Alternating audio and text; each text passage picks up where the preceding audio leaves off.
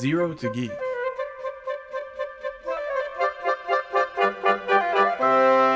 Learning better is better. Welcome back uh, to sesh- session number two. I hope you took a break in between section one and two. I hope you're enjoying yourself and having a real good time like we are. so uh, this week we're let's see what we're going to actually learn this week.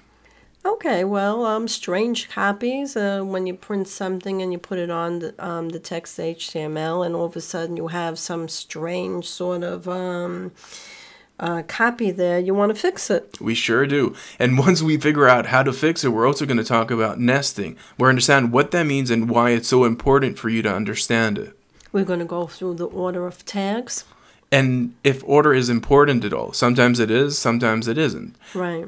And then we're going to start talking about how important it is to build your websites to be search optimized, making sure that Google also understands what you want from the page. Yep, yep. And self contained BR and HR.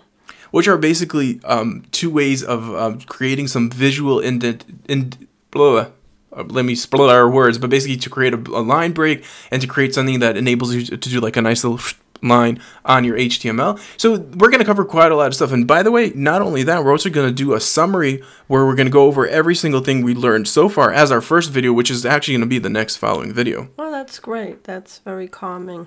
So there we go. So let's jump in and start learning.